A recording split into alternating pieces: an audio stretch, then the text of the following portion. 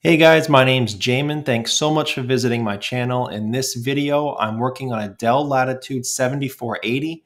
I'm gonna show you how to open it up and access your battery. So first things guys, power down your computer the correct way. Make sure it's off and unplugged from your charger. We're gonna flip it over and access your bottom case screws. Now you have three screws here on the left, three on the right, and two near the center. Once you get all those screws out, you're gonna take a small flat pry tool. I prefer plastic pry tools because they scratch less than metal.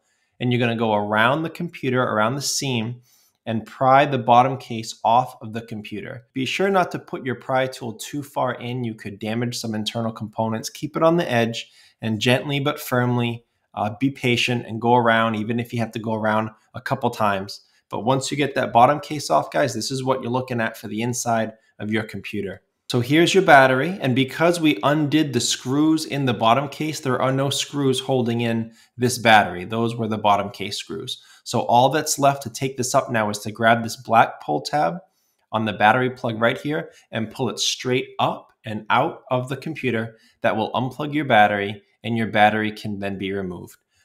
So that's the operation, guys. Pretty straightforward. Um, fairly easy to get into this computer and access that battery. If you guys need any help with tools or supplies or any replacements parts for this 7480, including the battery, there'll be a link below in the description. I'll also have it up top.